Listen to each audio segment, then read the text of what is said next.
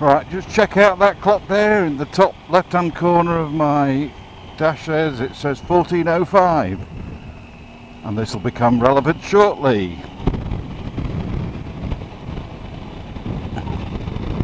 Well hello everybody, this is Old Man Tony here. Nice to be out in January on the motorcycle.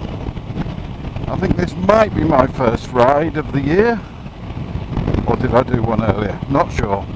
But uh, today is the 15th of January and I've just been challenged by Paddy Outback. Check out his channel here if you can. To do a 10 minute vlog with no edits and no spaces without talking longer than 20 seconds. So this is what I'm doing. So it's the 15th of January today and it's 11 degrees Celsius. 11 degrees Celsius must make that about um, double it and add 30 that's um, 22 52 degrees Celsius which isn't bad for the time of month. Not bad at all.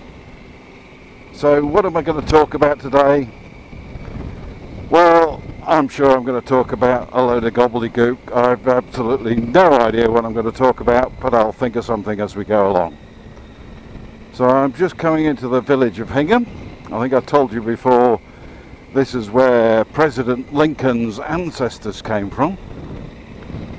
It's also the place where my daughter and two of my grandchildren live. In fact, just up here on the right hand side is the school they go to. Like a lot of villages, it's still the old Victorian buildings for the schools with a few new bits added on to them. So that's their school that they go to. So this might be my last opportunity to get out on the bike. I've um, seen the forecast and it says from today it's going to get colder. So although it might be reasonably warm for the time of year today, by the time um, this vlog goes out in the next couple of days, we'll be struggling to get above freezing during the days by the sounds of it. But we'll live through it and no doubt I'll be using my car a lot more. Looks like it's white van day. Everything's coming past all at the same time.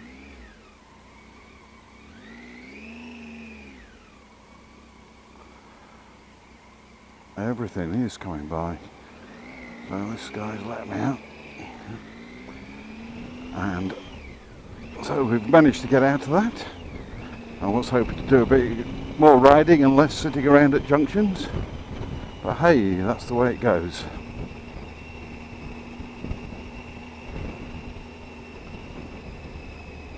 So January's been pretty good for me. I've been um, making a few more pieces on the lathe, which I won't show you this time. But hopefully in a future vlog I might show you some me doing some work on the wood lathe. And you can watch as that wood disappears into um, wood shavings. Which half the time that's what it seems to be, wood turning. Wood turning just seems to be a way of converting big chunks of wood into small chunks of wood and a huge pile of wood shavings but I enjoy it. It's quite therapeutic. You get out there with your um, face mask on and your chisels carving away. It's almost as good as riding the bike but not quite but it's another way of relaxing and escaping. And that's what I like about the motorcycle other than when I'm doing my vlogs it's pure escapism.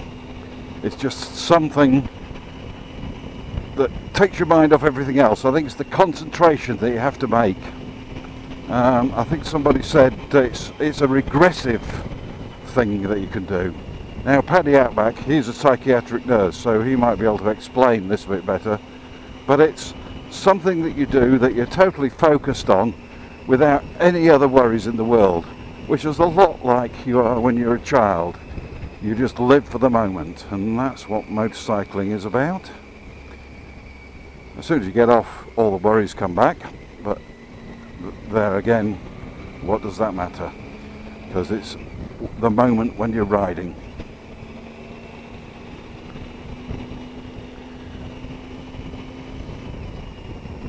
So it's a Tuesday today. I've been out this morning with the wife um, and bought myself one of these um, feather lined um, thin jackets, you know, the kind of things that folds up into a pocket, which I thought would be ideal for wearing under my motorbike jacket and for wearing um, underneath other things as the weather gets colder so I can wear a thinner jacket and still keep warm when I'm out in the cold weather. And so far it seems pretty good inside my um, bike jacket. Not getting the cold belly like I did the other day but then again it is 11 degrees Celsius. I was talking to someone the other day about heated grips too I haven't got heated grips on this bike. It's got a lot of extras, but no heated grips. So I keep tossing up in my mind, do I spend a load of money on super insulated gloves? Because these ones, these are just Spada gloves. They're quite cheap, but they are warmish and they're supposed to be waterproof. I don't know if I've tested them out on the waterproofness. But what is the best? Is it better to go for a good quality expensive pair of thermal lined gloves? Is it better to go for some heated gloves? Using a bit of the old battery power of the bike to um, keep yourself warm? Or is it best just to go for heated grips? You know, no wires connected to you I suppose heated grips are the best solution in that way but they only keep the parts of your hands warm. Whereas heated gloves they keep the back of your hands warm so I'm kind of leaning towards heated gloves, especially since most of the heated grips I've seen add a load of um, extra spaghetti around your bars.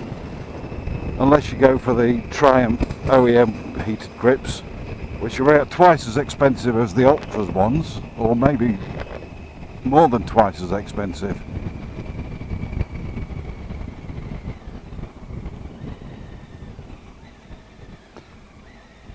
And they um, people talk about them not being that effective only heating one side a bit more than the other side.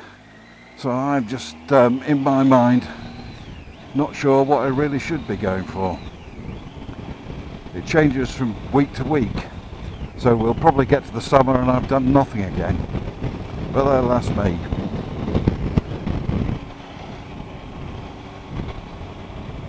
50 miles an hour limit. These odd little limits are appearing all over the place. So this is a what we call a B road in the United Kingdom. The British people will know what a B road is.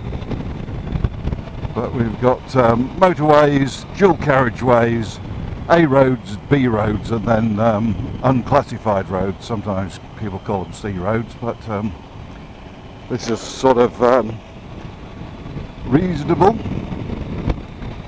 But it depends which part of the world you live in. But the speed limits keep creeping in all the time. So this one is 50 I'm not sure why it's 50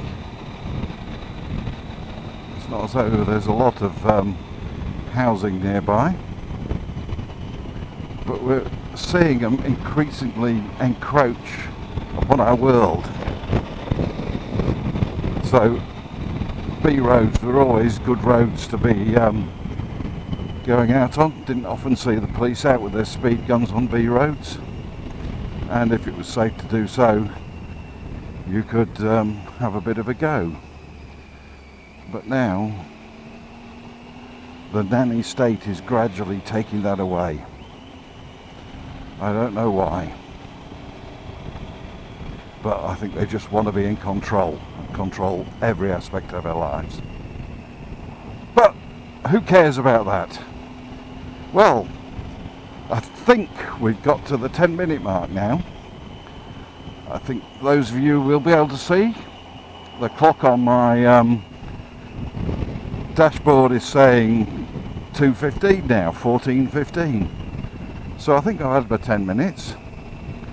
So, if you've liked this unedited video format, please tell me about it down below.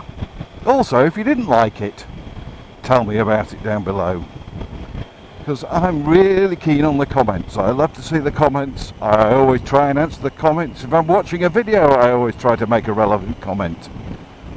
So you'll probably be seeing me comment on a video near you soon. So if you've made it this far, thanks very much for watching. Don't forget to leave the comment. This has been Old Man Tony. Goodbye.